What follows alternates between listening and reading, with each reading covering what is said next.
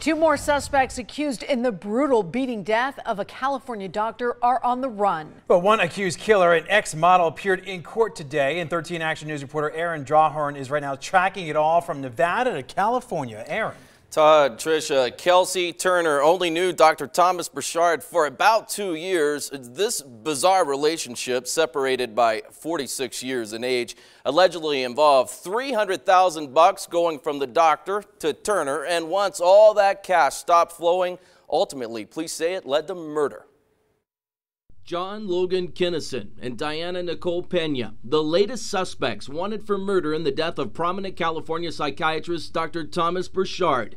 Kelsey Turner's time on the lam ended last month. What would you say to these two at large suspects tonight?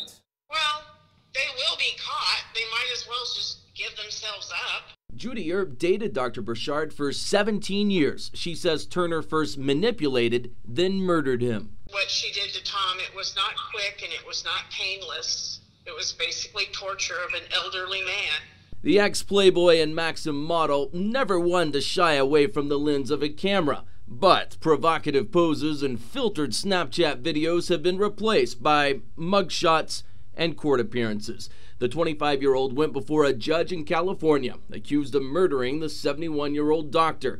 She's not fighting extradition to Nevada, but. Uh, additional information has come to light. That additional information Turner is reportedly pregnant, but that's not halting justice. Metro Police say one crime scene, Turner's rented home near Warm Springs and Amigo. The other crime scene, a Mercedes left in the desert. The child psychiatrist was bludgeoned, his body left in the trunk, and remains sent home to California. Friday, I had to pick up Tom's ashes from the post office, and that just like, you know, really hit hard. You know, I had to cry for half an hour before I could even drive home.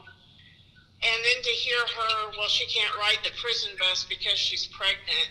Aaron Drawhorn, 13 Action News elevating Las Vegas.